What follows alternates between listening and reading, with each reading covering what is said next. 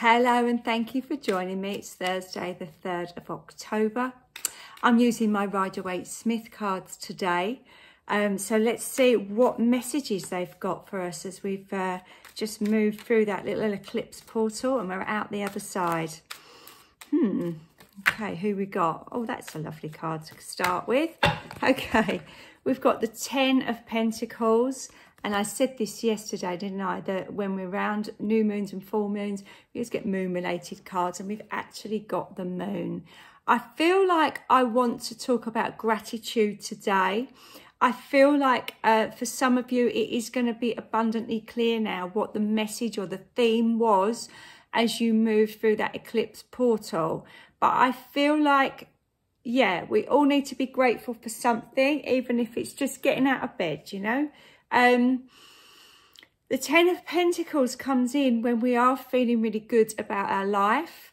Um, I don't feel that this necessarily will resonate with everyone that they've got everything they need, which is the sign of the Ten of Pentacles. It's that abundance. It's such a, you know, a rich scene, isn't it? We're in the vineyard, we've got the castle, we've got the money, we've got the dogs, you know, we've got everything. But I feel like this is an acknowledgement that you're now on the right path to get those things. And here is this right path, the moon.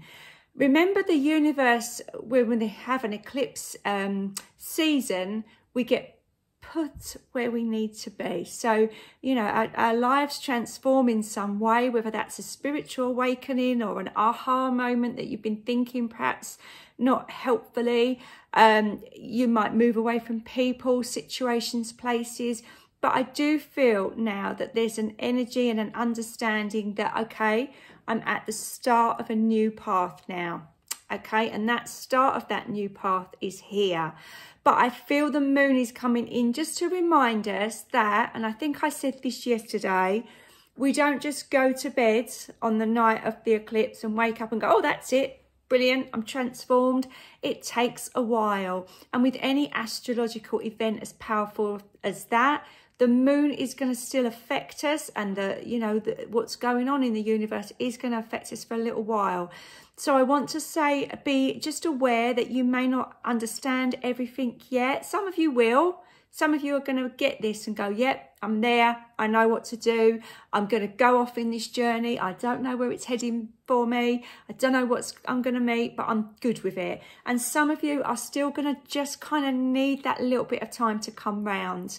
But wherever you are, eventually we are all going to start journeying on this new path, this new adventure. And we did say, and we've, we've said it as a theme really for the last um, three or four weeks that new things are going to start to happen.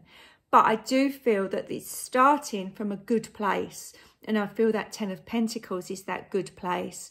Um, whether or not that is financially abundant for you or just the idea of, wow, I am now in charge of my finances. I am now aware of how I can make myself more money or you've you've cut I feel like some of you have cut ties with people that maybe have been a bit of a drain on your energy, time, money, or all of the above.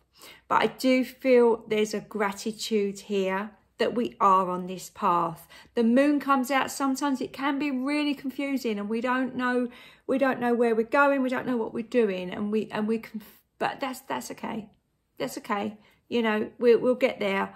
Um I feel like we're all in it together. I feel that everybody that watches these, wherever you are in the world, is understanding that actually this is quite a powerful place to be, walking into the unknown.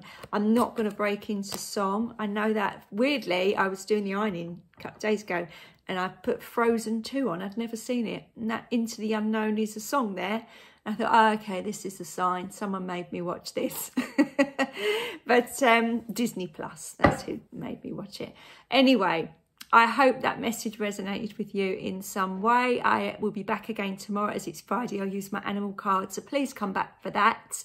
And if you would like a private reading with me, then just click on my uh, link to my website and it will take you to the book a reading page um, and you can, yeah, connect with me one-to-one -one and have an hour reading for just £45.